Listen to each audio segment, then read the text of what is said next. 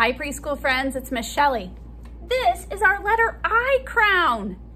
Everything on this crown starts with the letter I. Remember, you're gonna cut across the dotted lines only on the dotted lines. You're gonna cut those out and you're gonna put your pieces together so that you can wear an I crown. Now, the pictures on your I crown are an igloo, ice cream, ice cube, iron, ice skates, insect, and inch.